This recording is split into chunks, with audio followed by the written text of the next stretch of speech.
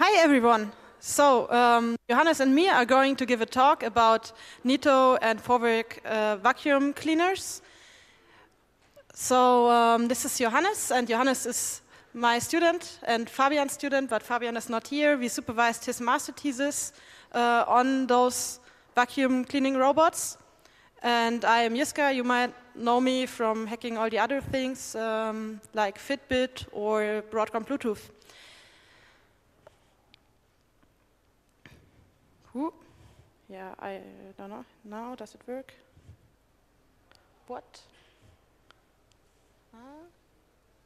Okay, so the question is why is a vacuum cleaning robot interesting or why is it interesting IoT? Well, first of all, it has a local user interface, USB console, something, so it can quite often clean without the cloud, but there's a lot of features where you would need the app or the cloud. So, for example, you have this app and it has a local Wi-Fi socket connection, whatever, and then you can do some direct control. So this direct control is really important if you want to run your own shitty vacuum cleaning robot contest or something so that they can fight, I don't know.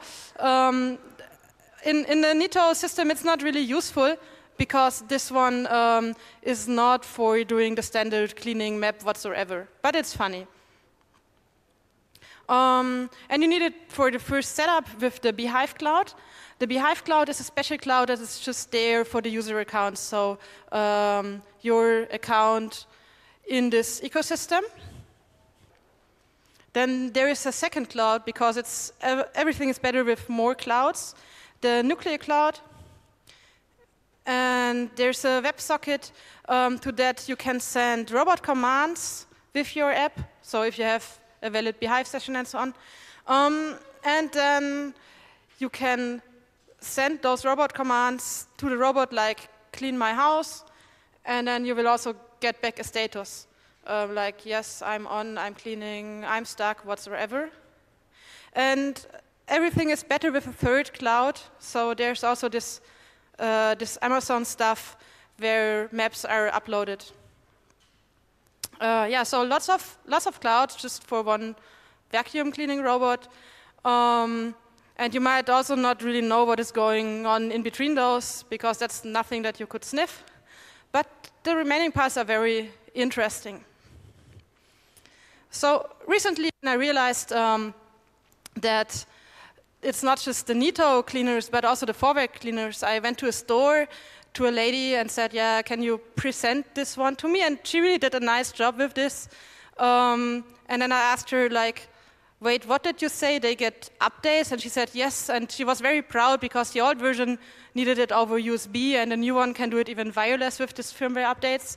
And then I asked her, like, okay, but why does it need a firmware update, such a vacuum cleaner? And then she said, yeah, it gets new functions. Like, um, for example, you have a map of the floor that is cleaning, and if you want a map of two floors, then this is supported by the new firmware, and then you can, for example, like draw a line. So you get a map of your apartment, and then you can draw a no-go line instead of putting this magnet stripe there. So it's kind of useful, um, but it gets updates. And then I asked her, like, how does it work with the updates? And then she said, yeah, you know, this thing has a CPU, and the CPU gets new functions. Was a bit funny, but yeah, I mean, it's her job. Um, so that's all of the explanation that I got, but it's interesting to see how they actually work. Um, so what is in there? For, for both those ecosystems, you get a binary for at least those that you can update over USB. Um, and then there is some information about the, the version and so on, and the hardware model, etc. Um, then there is a thing that is encrypted and has a certificate attached and so on. Um, and there's also some plain text part, um, which is the user interface. And then there is um, a footer, and you cannot flip any byte without getting an error during installation. So there's checksum certificate over everything. Um, it's quite hard to change something here. So everything looks kind of secure here, but at least it's not completely encrypted and you can get some metadata. Um, yes, and as I said, it's that the CPU gets new functions, obviously.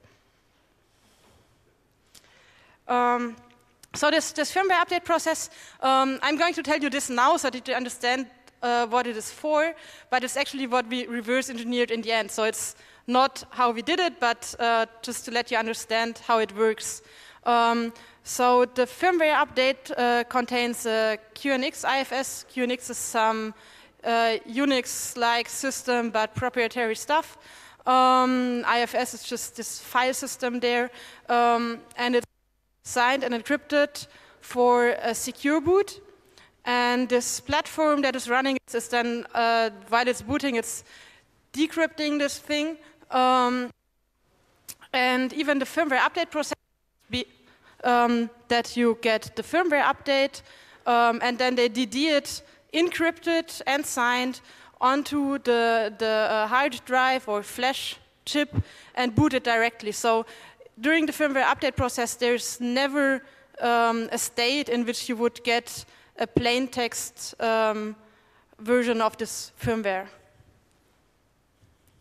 This actually means that you, so to, to extract something from the system, you need to break the secure boot in some means. Um, so what I did, I was looking through all kinds of serial ports. So there's tons of ports there, and the only unlabeled port is actually a serial port. Um, this one is there. Um, it's nice because for the new Vorwerk uh, robots, they even uh, have it just um, as an outside port, so you don't need to disassemble your robot to attach it. But for the older ones, you need to disassemble your robot. Um, and then if you have this USB interface and say some test mode on and then reboot whatever action, you will get an extended boot menu.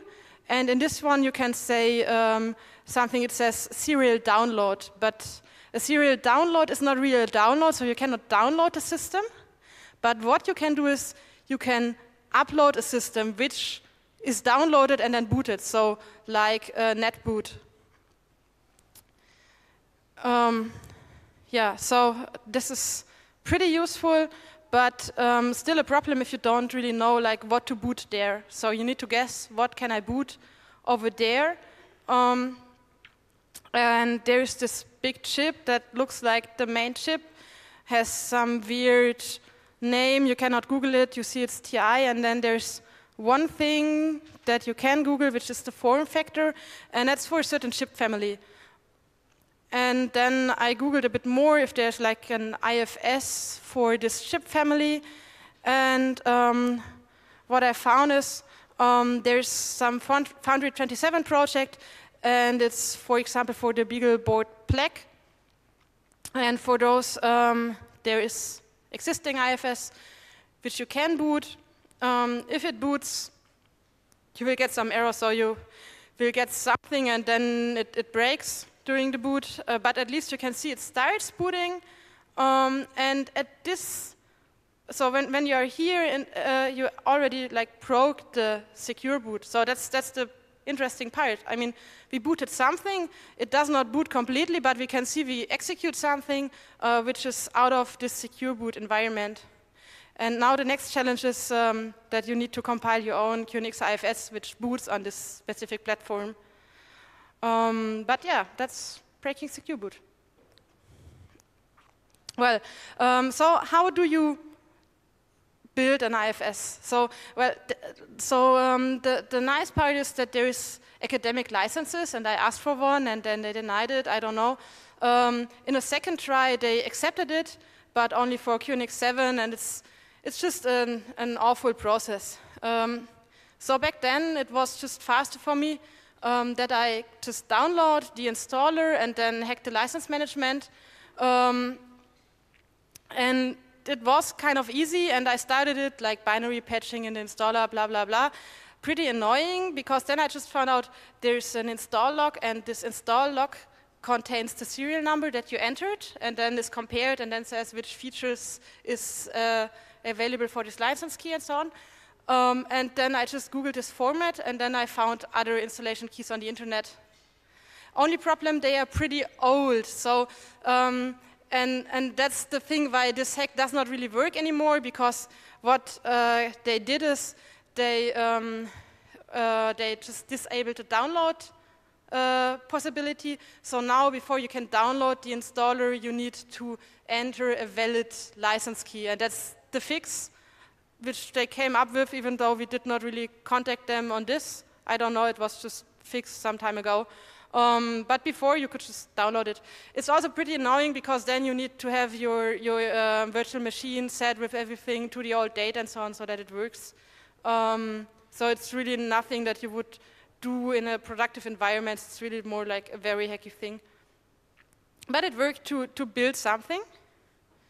Um, so uh, the next part is I wanted to build something that, that boots on the chip.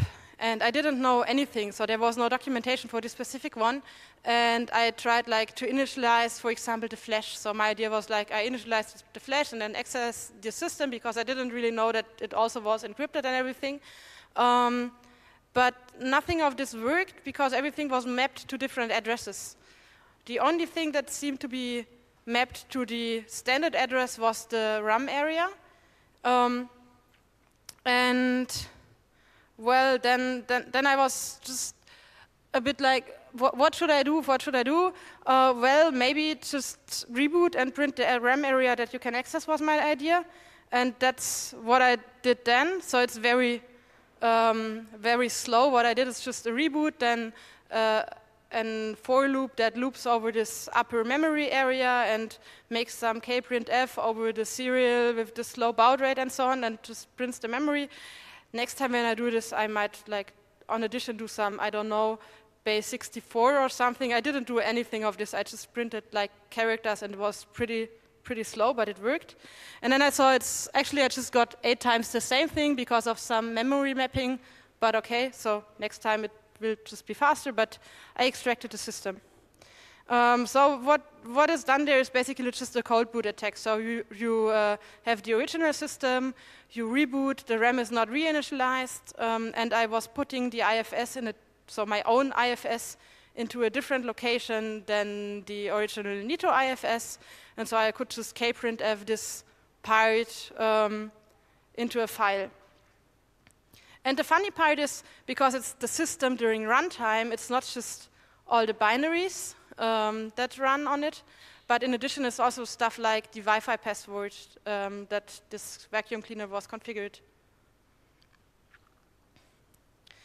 So um, my next idea was to actually boot my, my own Nito IFS, um, and it's pretty tricky because the IFS um, is copied to a certain memory area that is specified in its header. Um, then it's decompressed, so you need to compress it correctly and so on. Um, and um, then you have this image directory, uh, which then contains files and so on. Yeah, and that's how it looks like. But the problem here is, so you, you can actually access everything in it, um, but if I boot the same thing again into this thing, then there's already the system initialized, and that would mean that you um, have, for example, stack pointer and everything already initialized, and then you boot again into the same thing with a strange memory state, and this one does not really work, so I don't know. I, I, I, tried it a few times, but it's also pretty slow because then over serial you upload the system and so on, and then it does not work. Um, so yeah, but whatever. I, I mean, it, it, would have been nice, but then I, I, didn't continue that because it's just a bit awful to do it. Um, but at least there's funny scripts like Pinky and Brain. So Brain is uh, this, this main robot binary, um, obviously, and Pinky is a watchdog. Um, Pinky is pretty pretty awful too because we tried some some uh, debugging, so live debugging everything on this robot later, um, and whenever you crash any process, um, then the process is restarted and so on. And if the process is not running, it might be that the complete robot restarts and so on. So it's a bit annoying, this, this uh, watchdog. And uh, the brain is also, it's just calling a bin robot and so on. Um, so yeah, I didn't, I didn't patch it to the part where I could boot it again, but so what. Um, this secure boot bypass is something that they fixed after the MRMCD, um, but it took them quite a while until they, they uh, noticed our talk. Um, so in the end of November, it was pretty funny. I was getting an email from the core developer. Um, I mean, meanwhile, we were already at a point where we were sending them proof of concepts for certain hacks and so on that we had to this to their uh, support system, and people said like we, we forwarded it to the developers and so on, and nothing happened. And then at some point, I got this email from the core developer who said, "Hey, uh, oops, can we talk?" and uh, just one day later, at the same time of the of day I was just so we were calling them we prepared like everything. So what were already CVs that we handed in and what is new and so on um, and tried to to talk to him in a structured manner. And actually he was writing that email during night in, in California time and we didn't know that because I don't know who, who writes mails at 2 a.m. I don't know. And then he also got our call on the following day like during that time. But uh, he actually like noted everything that we had, and it was really a professional thing because he really noted down everything and they fixed it. Um, but it also takes time to roll those fixes out. Um, so you can see the fix actually in the newest uh, Neato Botwac connected D7 update, um, but not for Vorwerk because they test firmware on the Vorwerk first um, and then if it, uh, not, not uh, on, on the Neato first, and then when it's stable, they roll it out to the Vorwerk. So uh, the cheaper American product is their test platform, so to say, and then the, the German platform with this um, better battery, for example, and more sensors, that's then this second platform where they run it. Um, yeah, and the thing that they said about this vulnerability is that we please Please do not publish the IFS that you extracted, okay, obviously. Um, and please also do not publish um, this uh, kprintf, what everything that we built to extract the IFS. So, I mean, that's, that's really a rocket science for loop. Please don't do that. Um, so software hacking. Uh, now we, we had all the binaries, and that's the part when it comes to something that, that is really more easy to do and more fun, um, because all the, the executables there contain symbols and everything, so it's a really a fun thing. Um, and even better, um, there's core dumps. So they have a script running um, that is really useful. So QNX has some default behavior where core dumps are written to a certain directory whenever a process is uh, crashing. Um, and then this is copied for, so it's first encrypted and then copied to uh, a USB stick if you attach that and click some things on the robot. So that's pretty useful, I guess, for any developer who gets a robot which is doing weird stuff. So what was the binary doing when it was crashing and so on. Um, but it's also useful for us if we would have the decryption password. Um, so what is the decryption password? Yeah, there's this file called, so there's RC4 crypt. It's a binary, uh, but it does not have any password uh, as an argument. Um, then you can open this one. I don't know, this one is now opened in, in Gitra, um, but also it, it, also works in IDA, whatever. Um, this is the password, so nine characters, special charge, I don't know, but hard-coded.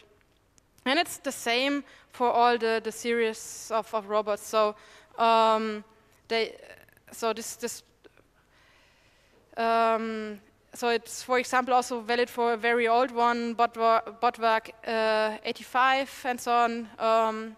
And it's very nice to see that it's just the same password throughout all the versions, and you can just decrypt all the logs and core dumps. Um, now the question is, why did I even have a core dump on my robot? So, I mean, I found a core dump and wanted to decrypt it. So, why did I found a robot core dump?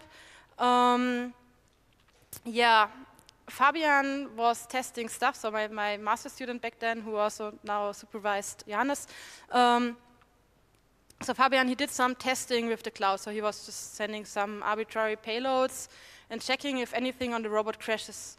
And he thought there would not be a crash because the, the process is just restarted by the watchdog, so you don't really notice when the service is crashing.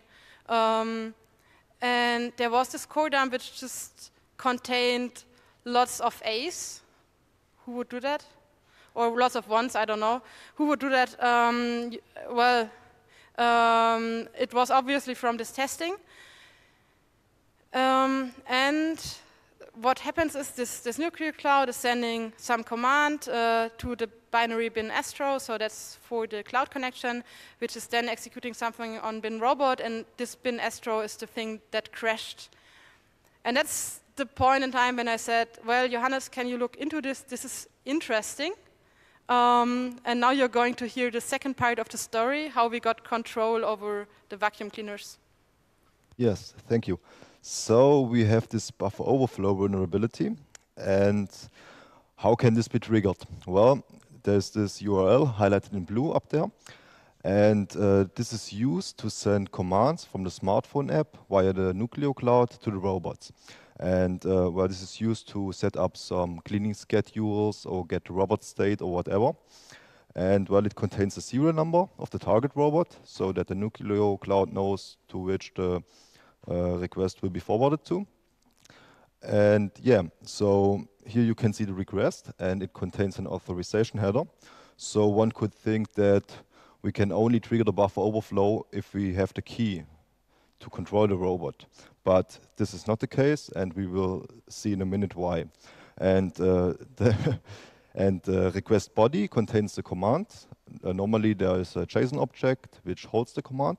But if this uh, body gets too long, there is the buffer overflow. Okay. So, well, now we checked what can we do with this buffer overflow vulnerability. Therefore, we sent a, um, um, a, a, payload with um, character pattern and analyzed the, the core dump which was generated. And the registers in the core dump reveal which uh, register we have control over. And yeah, we can control the register R4 to R11 directly and also the program counter. Well, this is quite promising because it means that we can alter the program flow and therefore execute arbitrary code. So yeah, um, now we think, thought, okay, it would be nice to get some command execution on that robot and let's build an exploit. Okay, therefore we started to analyze the root cause of the buffer overflow and the link register in the core dump revealed the last function which was called before the process crashed. And uh, the function hmac context cleanup in gray was the last function call. And this function belongs to OpenSSL, the OpenSSL library. So we thought, yeah, maybe the, uh, the vulnerability is in the Neato code and not in the OpenSSL library. So um, we checked the call graph to this function. And this call graph is shown here. And we analyzed the function and reverse engineered the function preceding this uh, function call. And well, this vulnerability is located in the red function verify signature. Um, this function name is a bit misleading because it seems that the programmers don't understand these uh, cryptographic concepts correctly because this function actually verifies and calculates an HMAC. And during this HMAC calculation process, uh, the function or the process crashes. And this is the reason why we can trigger the buffer overflow unauthenticated and arbitrary robots. Yeah, um, on the right uh, call path, uh, call graph side, you can see the, the handle of the requests, which are um, sent to the robot via the Nucleo cloud. And on the left side, uh, the requests in the local network are handled. But we cannot trigger the buffer overflow in the local network because another binary receives these requests and forwards it to bin astro via IPC. But the IPC implementation of Neato limits the maximum packet size to 512 bytes, and this is not enough to uh, overflow the, the, buffer. Okay, now let's have a look at this vulnerable function. Uh, here, um, the orange line shows the vulnerable um, function call. It, uh, it's called UTF-8 encode, and it takes an input buffer. UTF-8 encodes this string in, the, in this buffer and stores it in the target buffer. And like you can see at the, at the top of this slide, the, um, the source buffer is much bigger than the target buffer. And because there are no length checks, well, there's a buffer overflow. Uh, okay, so um, how is this string built? Well, you can see it in this uh, third last line as in printf. This function takes um, three strings and concatenates them. First, there is the, uh, the robot serial number, then the, the, the date header of the command, of the request, sorry, and the command itself, which is transmitted in the request body. And this means we can control how the buffer will, will look like, and uh, well, that allows us to build the exploit. Okay, in order uh, to exploit this vulnerability, we have to stick to some constraints. First, the uh, exploit request uh, is not uh, cannot uh, contain any null bytes because these requests terminate at the nuclear server and do not reach the target robot.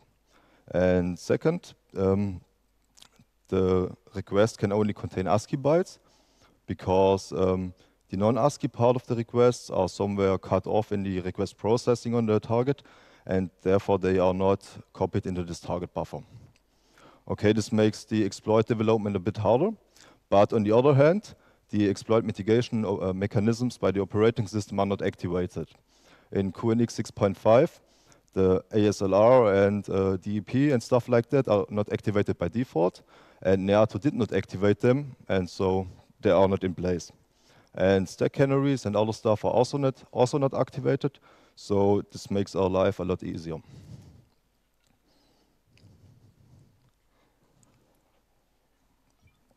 Okay, so we build a return-oriented programming exploit. And yeah, our target is to execute the libc function system, which allows us to, well, to execute arbitrary system commands. And in order to do that, there are three steps. First, we have to place the command, which will be executed on the stack of the process. Afterwards, we take the address of this command, place it in R0. R0 is uh, the register which holds the first parameter of a function call in the ARM architecture. And yeah, finally, we call the function system. And we do this util utilizing the corresponding ROP gadgets and chain them together to a ROP chain. Okay, well, the, the problem is that uh, the address of the command string on the stack and uh, the address of the system function uh, do not stick to, to these constraints I explained before. So this means we cannot transmit them in the exploit request directly. So to solve this issue, we just transmit requests which uh, stick to these constraints and use an add gadget to add those values and to generate arbitrary addresses. And this allows us to generate these addresses and call the function here. But the uh, addresses of the ROP gadgets have to stick to the constraints because they are also transmitted in the request. Okay, so uh, what does this mean? Well, the exploit allows to execute arbitrary commands on arbitrary robots, unauthenticated and with root permissions. So, well, this is quite bad because you can do basically anything with this. And you just have to uh, need to have the serial number of the robot because the cloud needs to know um, to which uh, request uh, to tar which target the request needs to be sent. And well, that's not uh, so hard to get because the serial numbers are printed on the robots and on the packaging itself. You can just go into a shop, check out some serial numbers, and attack arbitrary robots. so yeah, so what could an attacker do with this um, exploit? Well, you just can prick some robots and annoy the users, or yeah, you could, could attack further devices inside the local network, which would be protected by a firewall otherwise, which is quite bad. And yeah, you could use it to build a botnet and to start some DDoSing or Bitcoin mining or, or whatever. Or yeah, you could extract some privacy critical information from the robots, like floor maps or other sensor readings, which is also quite, quite bad regarding the privacy of the users. Okay, some final words to the responsible disclosure timeline. Well, we started to uh, contact them back in March 2018 and our first responsible disclosure attempts terminated at, at the first level support because they just not forwarded them to the um, responsible developers. So at some time we just sent them the exploit in the email and well, they just closed the ticket and did nothing. and yeah, so we didn't know what to do. But finally, we got the contact in November 2018, and um, the developers were quite cooperative and communicated with us, like Jiska said before. And yeah, the fix itself was quite easy because they just had to implement a stricter length restriction on the server side.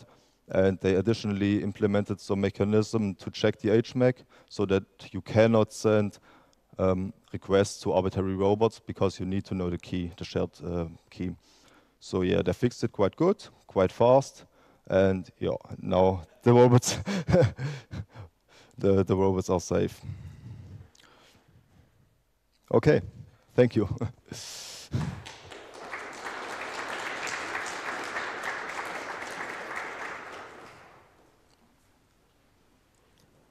So, first a question from me to you. Who of you has a vacuum cleaning robot, no matter if smart or not? Ah, interesting. So there might also some of the hands that were rising who now have questions to us about their robots, I don't know, about their privacy. Nobody is concerned or wants to know more?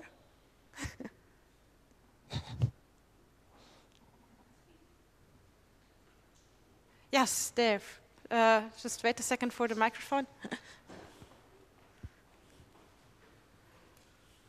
Uh, you already asked the question yourself why they do need a software upgrade, but why do they need all these cloud connections? What uh, is the reason for this?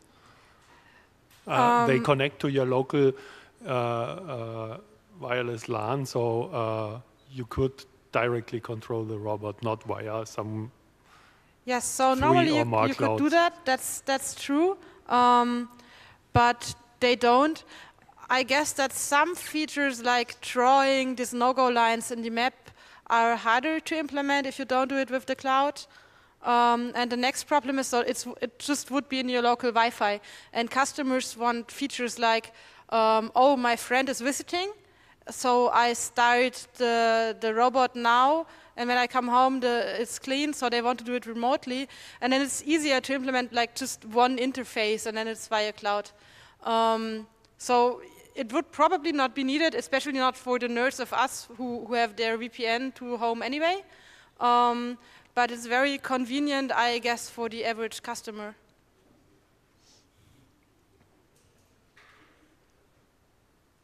Yes, next question.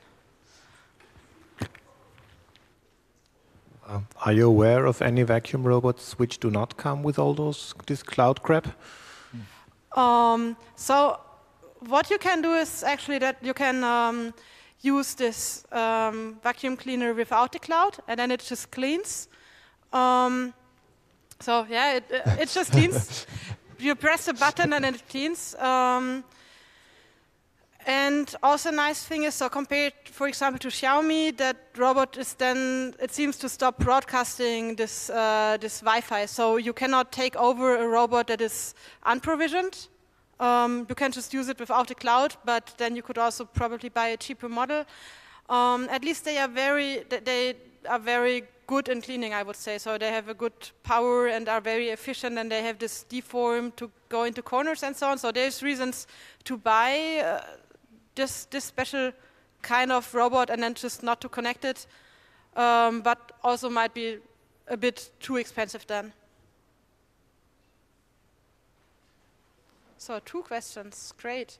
Is this a follow-up question, any of this? No? Can you tell a bit more about the Vorwerk model? Is it like the same hardware and uh, the proven firmware, or is it a different hardware? It has rainbow-colored LEDs. Uh, no, I mean for real, but not only this. So um, so first of all, there's a brush. So on both models, there's a brush in the front to go into the corners, and it has some ultrasonic sensor to the side so that it does not bump into the wall. Okay. Um, but for the Vorwerk model, it also has three ultrasonic to the front, so that it's also not bumping to the front. Um, and they come with a different battery. Mm -hmm. um, and the Vorwerk model has um, better, I would say more efficient um, power settings. So the eco mode is more eco and the power mode is more power. Um, and I feel in the Neato, it's just, I think it's 50 versus 60%.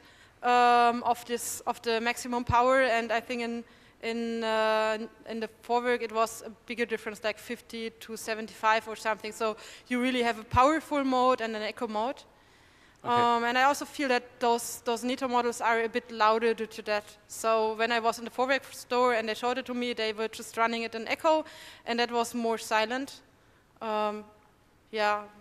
So there is some differences. There is a reason why the Vorwerk is more expensive, I would say. It also felt better somehow. It has a green brush, obviously. Yeah.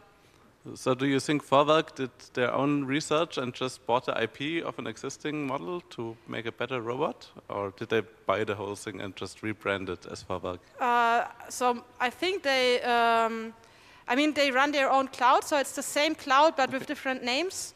Um, and they acquired uh, Neato some, Okay. some years ago, 2017. And before, I guess they also did uh, development together. Okay, thank you.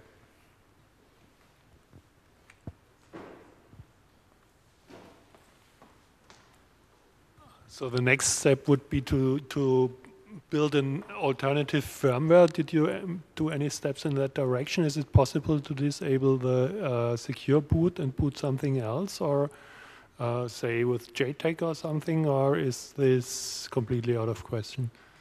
Yeah, so the problem is that the serial boot is not that fast and so on. So we were thinking of one alternative. So there's, um, so the fun part is while we were stuck, stuck in communicating with Neato, there were some other hackers who, who also did something uh, with the Neato robots in an older version, and there was a bug in uh, in some NTP time setting command where you could inject uh, something during runtime, and that would be better. So you boot the system and then do the modification over this vulnerability, and that would be probably doable with your Raspberry Pi in a local network. Um, so that that would be a variant. I, I think so. Especially for those where you need to, to open the casing and everything to attach cables, that's not really something you would do. Um, yeah, I, yeah, I don't know, but I think it's more convenient to have just a Raspberry Pi and a certain network config, and then the robot is exploited locally. Um, but that exploit only works on older versions, also not over the cloud and so on. Yeah. How did you get the contact to the Neato developers finally, and what did they say exactly, besides the support just closing the tickets? Ah, so that at some point, so um, when we got that call, this developer or uh, software lead, he, he already had uh, seen our MRMCD talk. So someone said to him, oh, it seems to be something serious. There has been a talk, and he was well informed and contacted us in the end. And uh, what was the reaction afterwards? Did, was he happy or thankful or? Um, I would say they were overall they were a bit confused, like why we chose their system and so on. I mean, it's interesting. They have interesting technology, right? Um, and also are like at least in, in Germany something you would buy. Um, they were at least happy enough to send us one model for testing. Um, we needed more for testing, and I think we are like at the border of what Amazon Business allows you to buy and send back. yeah. So there's, uh, yeah, I, I don't know. So, so our secretary really hates me now. So whenever I say, yeah, I, it might be, don't, don't pay it yet, uh, we might send it back, she has always this, this face, and then she says, like, vacuum cleaner. um, yeah. Thank you.